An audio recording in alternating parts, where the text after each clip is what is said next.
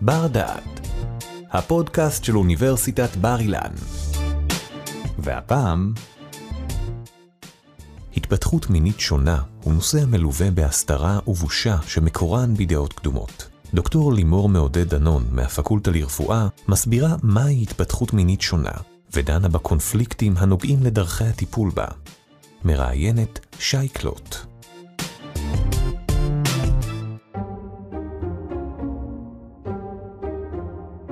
שלום וברוכים הבאים לבר דעת, מין, מגדר, מיניות. בעבר, התפיסה בנוגע למושגים הללו הייתה בינארית, או, או, אבל היום אנחנו יודעים כי יש להתייחס אליהם באופן יותר גמיש. איך אנחנו מתמודדים עם שאלות הנוגעות להתפתחות מינית שונה? כיצד הם באים לידי ביטוי מבחינה ביולוגית? ואיך כחברה אנחנו מתייחסים אליהם? וכך גם הממסד הרפואי. על הנושא של התפתחות מינית שונה והקונפליקטים סביב דרכי הטיפול בהם, נמצאת איתי כאן היום דוקטור לימור מעודד דנון, סוציולוגית חוקרת תחומים של רפואה, גוף, מין ומגדר מהפקולטה לרפואה על שם עזריאלי בצפת. היי לימור. היי שי. מה זו התפתחות מינית שונה? התפתחות מינית שונה זה אומר שהמבט הוא לתוך המין הביולוגי. המין הביולוגי הוא מאוד מורכב, הוא בנוי מקרומוזומי מין, גנטיקה, התפתחות של אברי מין פנימיים ואברי מין חיצוניים. ובכל אחד מהמאפיינים הללו, התפתחות מינית שונה זה אומר שהיא שונה מהנורמה שנקבע על ידי המדע. מאז המאה ה-18 ובהמשך גם במאה ה-19 החלו יותר להתעסק בהתפתחות המין בגוף. וכל הזמן קבעו סטנדרטים, מה המאפיינים הביולוגיים שקובעים את המין האמיתי בגוף. וזה לא ברור מאליו. אנחנו מניחים בהיריון למשל, נכון? איך, איך שואלים, איך יודעים שיש אה, בן או בת בבטן? לפי אה, קריוטיפ, קרומוזומי מין. 46XX יכול, את אמורה ללדת תינוקת. 46XY את אמורה ללדת תינוק. אוקיי? אבל אנחנו יודעים מאז שהדברים הרבה יותר מורכבים. קרומוזומי המין לא בהכרח יכולים להשפיע באופן ישיר על התפתחות אברי המין הפנימיים. משהו שם בתהליך יכול להשתנות, כי יש הרבה הרבה אה, גורמים שיכולים לשנות את התפתחות המין. עכשיו, התפתחות מינית שונה זו מטריה מלאה ועמוסה במצבים שונים, שבהם קרומוזומי המין למשל הם לא XX או XY, יש הרבה רצפים והרבה צורות של קרומוזומי מין. זה, זה א'. בהמשך יש גם אה, מצב של התפתחות של הגונדות, של אברי מין פנימיים אה, שונים בצורות שונות, או שבכלל לא התפתחו. חוסר, חוסר ברחם, חוסר באשכים, חוסר בשחלות וכולי. אברי המין החיצוניים גם יכולים להיות על ספקטרום.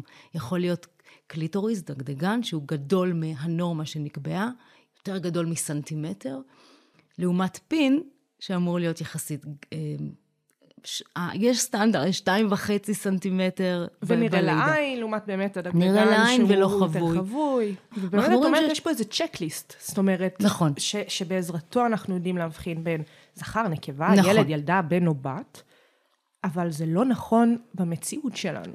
במציאות שלנו נכון. הדברים הרבה יותר במרכאות מסובכים, יש הרבה יותר מגוון.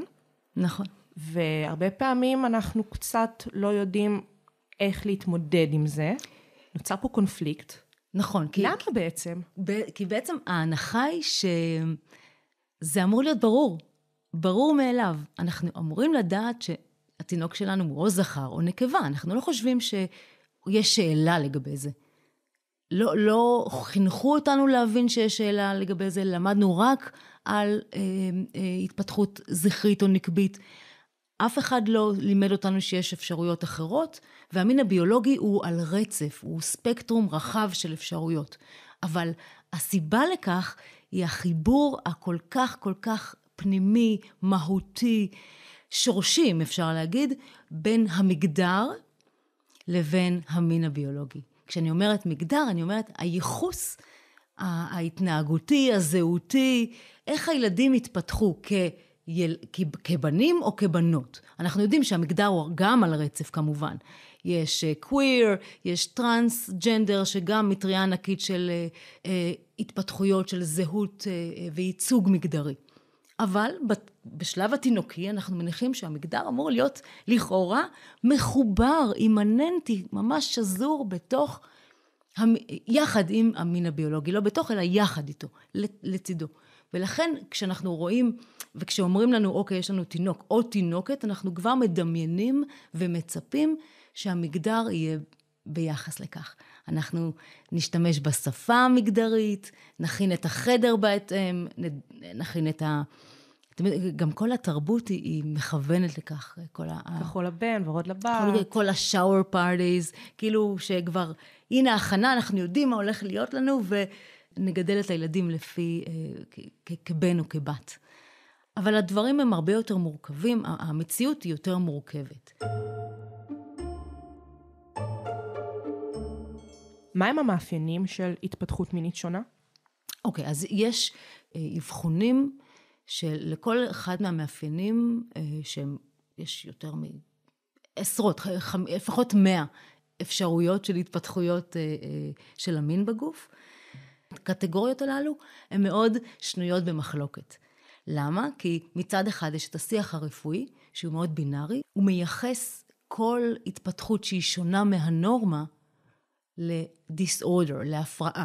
הפרעה של ההתפתחות המינית. לכן... בעצם השם של התופעה הזאת מצביע על, ה, על התפיסה הזאת של הפרעה. נכון. וכמו שאת אומרת, לא באמת, זאת לא הפרעה, מן הסתם. נכון, ותלוי מי, מי מגדיר מה, מהי הפרעה ומה לא. זה מאוד תלוי ב, אה, בנקודת המבט. הנקודת המבט הביו-רפואית היא, היא נקודה שאומרת, אוקיי, יש אה, שניים ויש אה, גם...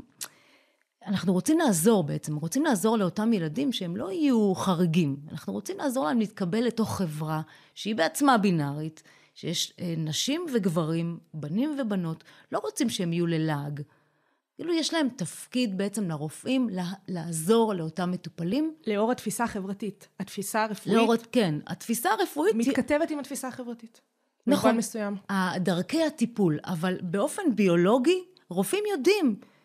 אם הם למדו קצת על, על התפתחות המין, וביולוגים יודעים את זה, זה לא חדש, שיש מגוון של התפתחויות. השאלה איך מייחסים לזה משמעויות חברתיות. איך זה מתורגם חברתית. אמ, אנחנו רוצים שיהיה אמ, קשר ישיר בין הקרומוזומים, בין הפוריות של האנשים, בין איברי המין החיצוניים שלהם, שהם יהיו אה, נורמטיביים בהקשר של הטרונורמטיביים, הטרוסקסואלים. זה אומר שיש נשים וגברים ויש להם מיניות מאוד ברורה ויהיו פוריות גם, נשים יהיו פוריות, גברים יהיו פוריים, אוקיי? כל מה שבביניים הוא נתפס כ... משהו שצריך לעזור לו. לא, לא בנורמה, צריך לטפל, לעזור. ומבחינה רפואית באמת את אומרת לטפל, לעזור, לנרמל. זה מושגים שלפעמים יכולים כן להלום אחד את השני, טיפול או נרמול, ולפעמים גם לא. במקרים שאנחנו מדברות עליהם פה, של המצבים אה, אה, של אינטרסקס, הממסד הרפואי והטיפולים הרפואיים, הם מנרמלים או מטפלים? שאלה מצוינת. מה הגבול בין הנרמול לבין הטיפול. בדיוק. כשמדובר באיברי מין שהם לא נורמטיביים, החיצוניים, מה, מה רואים? כן.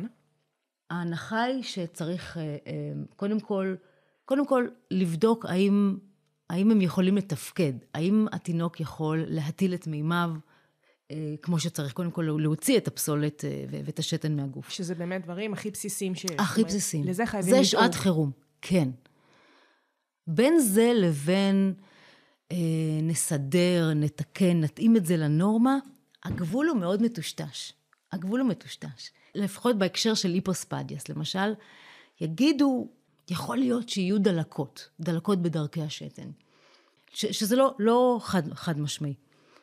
רוב האנשים שאני דיברתי איתם עם היפוספדיאס וממחקרים שקראתי, יש הרבה תופעות לוואי מההתערבות הניתוחית שהיא לכאורה קלה, נכון? שהיא לכאורה לבנות צינור שתן, לסדר את הפתח שיהיה בקצה. המשמעות של הרופאים היא בעצם לעזור לילד להטיל את מימיו, לא רק להטיל אותו כמו ש, שצריך בנורמה, אלא גם מבחינת אה, אה, מלתחות, שירותים, שהוא יוכל לעמוד ו- ולהטיל את מימיו, ולא לשבת. Mm-hmm. זה ההבדל המגדרי בפרקטיקה עצמה, הפעולה עצמה. איזה דקויות צריך רגע לרדת, הרזולוציות שכאלה. נכון, כי הרזולוציות האלה אנחנו תופסים כמובן מאליו, אבל עבור אנשים שנולדו עם אברי מין על הספקטרום, שום דבר אינו ברור מאליו, בטח בהקשר של ההשלכות של הניתוחים. כל ההתנהלות הרגילה, השגרתית, שבני אדם אמורים לחוות, ליהנות מהחיים ולגדול בצורה שהיא כל כך מאפשרת ועם פוטנציאל, הם למעשה מתמודדים עם ההשלכות של, שהוחלטו עבורם, עם ההשלכות של הניתוחים, עם ההסתרה, עם תהליך של רק לגלות מה, מה נעשה להם, וכשהם מגלים את זה, זה נורא, זה פשוט כאילו בונים את הפאזל של החיים שלהם. למשל, יש לנו כאן דוגמאות של, של אה, אנשים שבאמת לקח זמן עד שהם גילו את מה שהם גילו ומתמודדים עם ההשלכות של הניתוחים. עברתי את הניתוח בגיל חמש, בעצם מאיבר זכרי לאיבר נקבי. עד היום אני לא כל כך סגורה על זה אם אני בעצם נקבה או זכר, יש לי המון בעיות בדימוי גוף, בזהות המינית, בזהות בכלל. הייתי ממש ממש מעדיפה שלא היו מנתחים והיו משתפים אותי, וסיכוי גבוה גם שהייתי נשארת אה, בן. שמי ארז, ואני צריך, יכול להעיד על זה שאני עברתי, כשהייתי קטן, מלא ניסויים, ממש ככה, ניסויים בבית חולים, בגלל שאני אינטרסקס. היום שאני צריך טיפול רפואי ותיקון מגדרי, אז אה, לא תמיד הרופאים רוצים אה, לטפל בי. יש הרבה רופאים שמתנגדים לטפל בי. היחס הוא מחפיר ביחס לאינטרסקס, ממש. תמיד מנסים לשייך אותי לקבוצה שאני לא.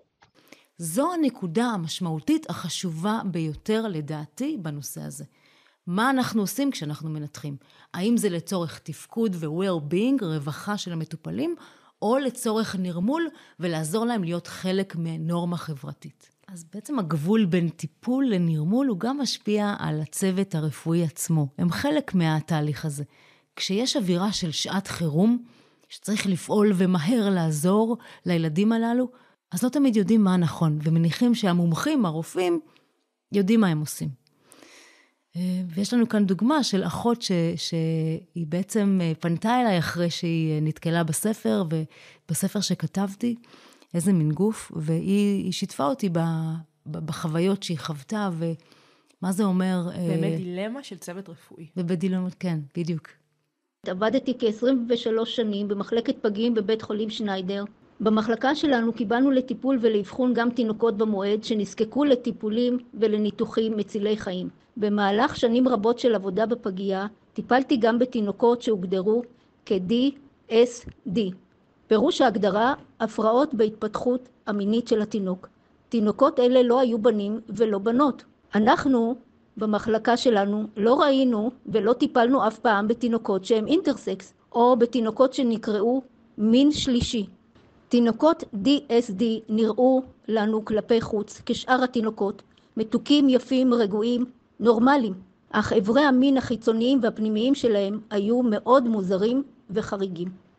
אנחנו כצוות מאוד גדול בפגייה, שכלל כ-70 אחיות, רופאים, עובדות סוציאליות, הגבנו בצער כלפי התינוקות הללו, בסוג של אוי ואבוי, איזה מסכנים הם התינוקות וההורים, כמה חוסר מזל, המומחים האנדוקרינולוגיים הופיעו מיד במחלקה והחלו בבדיקות מיוחדות ובטיפולים.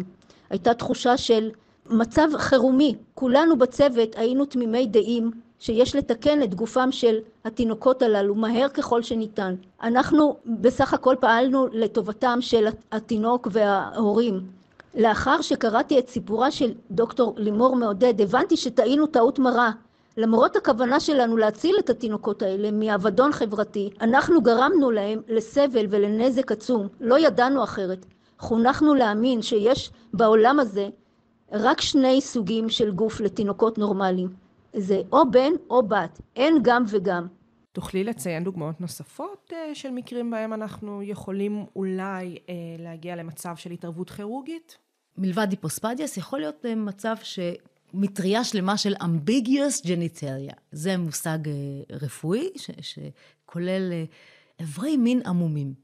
רואים שאו הפין גדול uh, מהנורמה ויש שפתיים סגורות, mm-hmm. אין שק אשכים, או פין מאוד מאוד קטן, ללא שק אשכים, חוסר בנרתיק, ומשהו באמצע, גם פין וגם שפתיים. מהמם. משהו כזה שנראה אה, אה, באמצע. עוד פעם, צורות שונות. אנחנו, אנחנו מתארות כאן אה, מקרים אה, של איברי מין חיצוניים. איברי מין, כן, איברי מין חיצוניים. ואז בעקבות הנראות של איברי המין החיצוניים, הולכים לעשות בדיקות יותר מעמיקות. עכשיו, זה יכול לקרות כבר אה, אה, באולטרסאונד, כבר. בבדיקות... אה, בעוברות, בדיוק.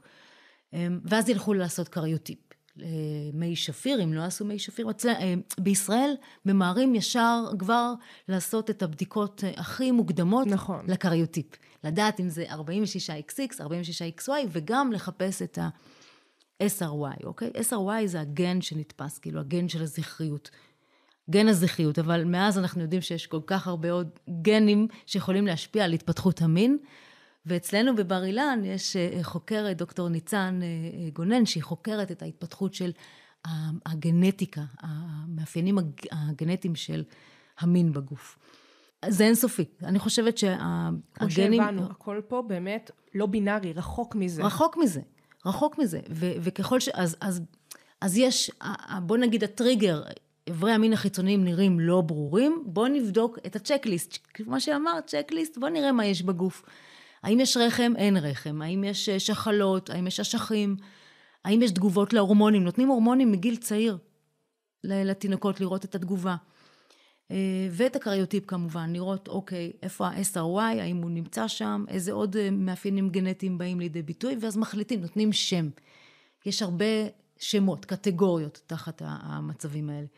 CAH, congenital adrenal hyperplasia, יכול להיות התפתחות אנדרוגן אינסנסיטיביטי סינדרום, יכול להיות חלקי או מוחלט, אה, אה, זה תסמונת אי רגישות לאנדרוגן. באופן החלקי יכול להיות איברי מין שהם אמביגיוס, לכאורה, עמומים, לא, לא ברורים. השם הזה בעצמו הוא לא ברור, כאילו, למי זה לא ברור? עבור הילדים עצמם זה יכול להיות מאוד ברור, כן. הוא חלק מהם. אבל אה, עבור המערכת הרפואית, המבט הקליני הרפואי המאוד מגדיר, מאוד אה, בינארי, יכול להיות בעייתי. אה, וזה יכול להיות אה, איברי מין חיצוניים שנראים נקביים, אבל איברי המין הפנימיים אה, זכריים, X46, XY, אה, אשכים שהם לא מפותחים, או חוסר באשכים. אין סוף אפשרויות. אין סוף אפשרויות, יפה, ממש. וככל שחוקרים יותר, מגלים יותר, עוד ועוד. יש לי, יש לי, אני כל פעם במצגות, אני מוסיפה עוד ועוד מצבים, שאני מראה שהנה, ולאחרונה גילינו עוד מצב ועוד מצב, ש... ויש הרבה לא, אה, ללא אבחון. כשאני מדברת על אבחון, אז הם, אה, המשמעות היא לתת לזה שיום, שם, ולקשר את זה גנטית.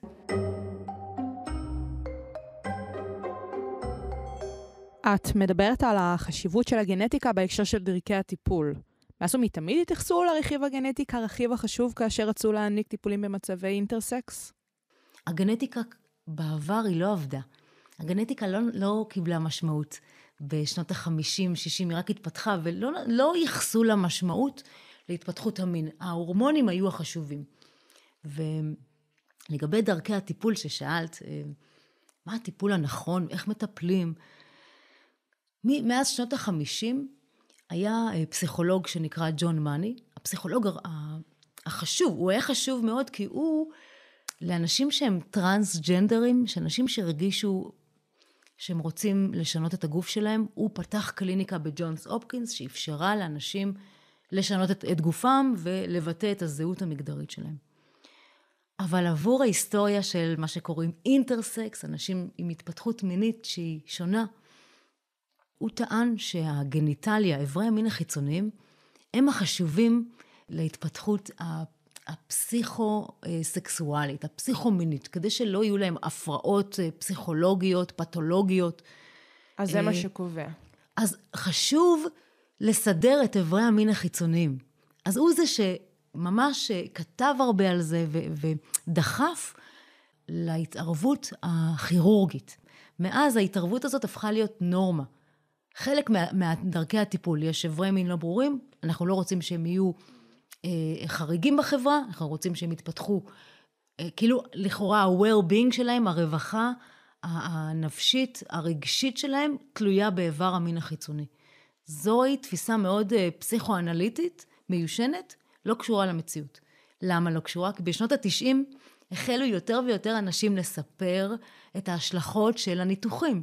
הם סיפרו שהם אה, הם השתמשו במושגים מאוד קשים. נאנסנו על שולחן הניתוחים. כשמדברים על האונס, הם מדברים על, על זה שנכפה עליהם הליך רפואי בלתי הפיך, שהם לא יכולים לשנות אותו, שהם לא יכולים אה, להחזיר את הגוף למצבו הקודם. לא התאפשר להם בעצם להכיר את הגוף שלהם או להתחבר אליו כי מישהו אחר קבע להם. הם לא הפכו להיות חלק בלתי נפרד מהחברה. להפך, הם מספרים שבגלל ההסתרה והסוד סביב ההתערבות וסביב המצבים הללו, הם לא ידעו בכלל מה יש להם, גילו בגיל מאוחר, או שגנבו תיקים אה, רפואיים. אז בגלל ההסתרה הם חשו יותר חריגים. יותר... ולא ידעו להצביע ו- ולהסביר לא לעצמם לפני הכל למה הם מרגישים את התחושות האלה. נכון. ואז המהלך היה, קודם כל, אה, בואו נחפש עוד אנשים כמונו. זה מה שקורה. בואו נחפש עוד. ותחילת העידן של האינטרנט, 93, איסנה, Intersex Society of North America, הקבוצה הראשונה ש, אה, של אינטרסקס, אה, מכל העולם חברו יחד אה, עשרה, שמונה, עשרה אנשים שיחד סיפרו שיתו, ושיתפו את, את החוויות של מה זה אומר לגלות את הגוף, מה זה אומר התפתחות מינית אחרת, מה ההשלכות של הניתוחים שנעשו להם, וסיפורים מאוד מאוד קשים, מאוד. את מתארת כאן את המצב הזה, שבו אנשים מגלים עם השנים את השונות שלהם, בלי באמת ידיעה מוקדמת כי הסתירו, ואל מול זה באמת את התפיסות הרפואיות של איך לפעול. עכשיו, זה איזושהי אה, התנגשות בין הערכים החברתיים או העניינים הנפשיים אל מול הממסד הרפואי. מה יותר משפיע על האופן שבו מתייחסים לענייני האינטרסקס. הממסד הרפואי, על באמת התפיסה החברתית, או עצם השיח החברתי, שהגילוי הזה והשיתוף הזה משפיע בסופו של דבר על הרופאים לחקור יותר ולפעול בצורות שונות ממה שעשו בעבר. זו שאלה מאוד חשובה, אבל אמ, התשובה עליה, עליה היא, לא, היא לא חד משמעית. היא, היא, יש הרבה גורמים שמתערבים. צריכים בעצם לבחון לא מה משפיע על מה, אלא איזה נקודות מבט או אילו חוויות ניתן היה לשתף וניתן היה אה, אה, לקרוא עליהם ולחקור אותם ו- ולומר אותם, לבין אילו חוויות שהן עדיין מושתקות. עברנו הרבה מאז, מאז שנות החמישים יש שינויים, יש שינויים בעולם ואפילו אפילו בישראל. פחות, אולי יש, פח, אולי יש פחות הסתרה, ב, אני מדברת ממש על, על, על השיח. על השיח בין הורים ל, ל, לגנטיקאים, בין הורים לאנדוקרינולוגים. הם יספרו מה יש, מה יש, איזה התפתחויות יש ומה יש בעולם, הם יכולים, הם ישתפו יותר, יסבירו מה, מה הולך להיות ומה, אה, איזה, איזה דרכי טיפול אה, הם חושבים שצריך לתת. יחד עם זאת, אין מספיק מחקרי מעקב אחר ההשלכות של הטיפולים, לפחות בישראל, יש במקומות אחרים בעולם, ישראל זה עדיין לא מספיק אה, מפותח, ויש עוד הרבה מה לפעול, כי באינטראקציה עצמה, כשנכנסים ממש אה, לתוך הקליניקה, ואני עדיין, אני, המחקר שלי הוא לא, מס, הוא לא הסתיים עדיין, למרות הדוקטורט שעשיתי בישראל, ואחר כך בפוסט-דוקטורט השוויתי בין ישראל לגרמניה. היום אני חוקרת גם, אני ממשיכה את, ה, את הנושא של הגנטיקה ועל אה, בעצם כל ה, התפיסה הגנטית של המצבים הללו ומה ההשלכות של הריונות, האם יאפשרו בכלל להריון להתקיים או יבצעו בדיקות גנטיות לפני הריון, זה משהו שקורה בישראל, כל ההתערבות האבחונית המוקדמת ביותר. אבל השינויים שכן חלו הם אה, שיותר מדברים על זה, הורים יותר שואלים שאלות, זה בגלל רשתות חברתיות ויותר מודעות אה, שקיימת. בכל הרצאה שאני נותנת, תמיד ניגשים אליי בסוף ואומרים, היי, אני מכירה מישהו, אה, או אה, שמעתי על, על מישהו, וככל שמדברים על זה יותר, מבינים שזה לא כל כך נדיר. כמו ג'ינג'ים בחברה, אז ככה יש התפתחות, לפחות, כאילו, התפתחות מינית שהיא... לא בנורמה הביו-רפואית הסטנדרטית. מה שחשוב לי בעצם להראות שעדיין יש השתקה והסתרה. למרות שיש כאילו מודעות, אבל אנשים לא, הם עדיין חוששים לדבר על זה. למשל, אני עדיין חוקרת את המסע של אה, אנשים בוגרים עם התפתחות מינית אה, שונה להורות. מה, איזה חוויות הם צריכים לעבור, אה, איזה טכנולוגיות פריון יש עבורם. למשל, טכ... השתלות רחם, שזה עדיין לא קיים בישראל, אבל זה קיים בעולם. המושתלות רחם הדומיננטיות ביותר זה אותם, לרוב נשים, שגדלו עם, עם גוף שהוא ללא רחם, שהוא חלק מהמטריה של התפתחות מינית מגוונת. אבל הש, השיום של המצב הזה, זה נקרא מאייר רוקיטנסקי סינדרום. עכשיו, אותם נשים, הם לא השתמשו בשם intersex. לא בהכרח אקטיביסטיות שיגידו, מה עשיתם לי על שולחן הניתוחים? כי הם אה, לא...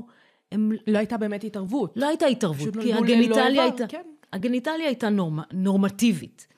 אבל כן, התגובות שהן מקבלות כשהן הולכות אה, ושואלות למה אני לא מקבלת וסת, הן יכולות להיות תגובות מאוד uh, בעייתיות מה, מהגניקולוגים.